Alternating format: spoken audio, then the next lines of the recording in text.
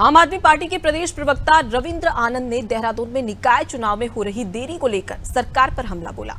उन्होंने कहा कि हार के डर से सरकार निकाय चुनाव, लोकसभा चुनाव के बाद कराने की सोच रही है।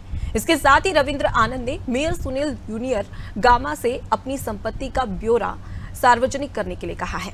उन्होंने सवाल करते हुए कहा कि एक चाउमीन बेचने वाला करोड़पति कैसे बन गया? इसकी जानकारी उन्हें प्रदेश की जनता को देनी चाहिए। नियाल गामा जी, जो आय से अधिक संपत्ति होने के मामले में घिरे रहे, एक प्रमुख एडवोकेट द्वारा उन पर आरटीआई लगाई गई। हमारे द्वारा कई प्रदर्शन किए गए।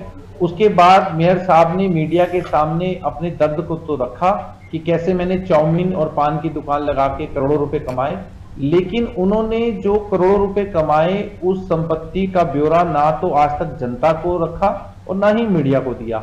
हमारी ये मांग है, आम आदमी पार्टी ये मांग करती है कि सुनील उनियाल गामा मेयर साहब देहरादून के, अपनी व अपने परिवार की संपत्ति को सार्वजनिक करते हुए जनता के समक्ष रखें कि आज उनके पास और उनके परिवार के पास कितने करोड़ की संपत्ति है।